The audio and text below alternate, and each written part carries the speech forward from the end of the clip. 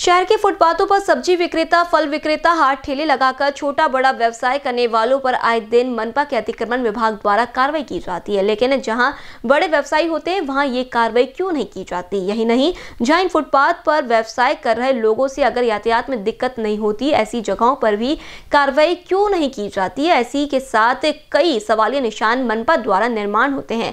ऐसा राष्ट्रवादी कांग्रेस के नेता अनिल अहिरकर द्वारा आयोजित पत्र परिषद के दौरान कहा गया है। साथ ही ज्वाला धोटे द्वारा भी अतिक्रमण विभाग के अधिकारियों को ते प्रमुख आहेत या ठिकाणी अतिक्रमण विभागाचे.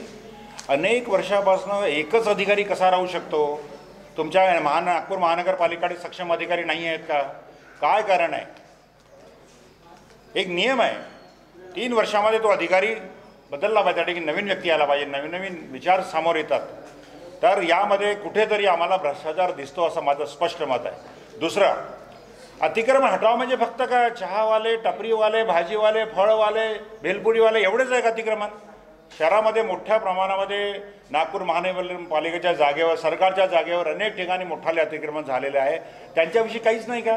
तिथं तुम्हाला कधी ऐकायला मिळते? कधी आम्हाला काहीच ऐकायला मिळत नाही. म्हणून आमचा आरोप आहे का कुठेतरी यांचे हात बांधलेले आहेत किंवा कुठेतरी काहीतरी जे तुम्हाला वाटते तुम्ही आता भ्रष्टाचार बोलले तर आम्हालाही तसंच वाटते नागपूर महानगरपालिका अंतर्गत येणारं अतिक्रमण हटाव विभाग हे विभाग म्हणजे कत्तलखाना आहे.